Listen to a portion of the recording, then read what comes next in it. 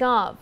And we could see power outages over the next several days from Debby. Duke Energy is preparing for any problems in their coverage areas of North and South Carolina. Chelsea Donovan has more on how state and local emergency crews are getting ready for this storm. I always say if there's ever a storm with a name coming your way, you should have a plan in place. It's a solid message from Jeff Brooks with Duke Energy. Prepare for tropical storm Debby now. He's already in Florida doing just that. I think we're in pretty good shape at the moment.